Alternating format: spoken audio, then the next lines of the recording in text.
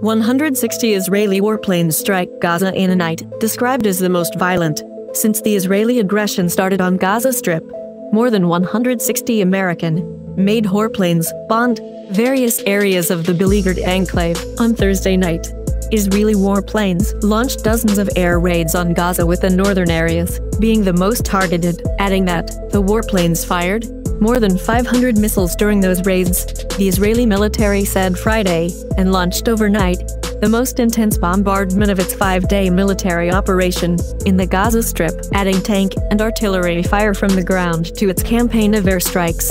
As the death toll from the crisis continued to rise, the military said the aim of the strikes, which included the use of 160 aircraft, was to destroy an elaborate network of tunnels underneath residential neighborhoods used by Hamas, the armed group that governs Gaza. The introduction of ground forces is a widening of the Israeli offensive, which has resulted in the most severe shelling of Gaza since a 50-day war between Israel and Hamas in 2014. Fearing a possible Israeli ground incursion, Palestinian families could be seen fleeing their homes in areas close to the border with Israel, including the town of Beit Hanoun in the northern Gaza Strip, heading to United Nations schools that would be used as shelters. The UN said Thursday that at least 1,750 Gaza residents had been displaced by the shelling.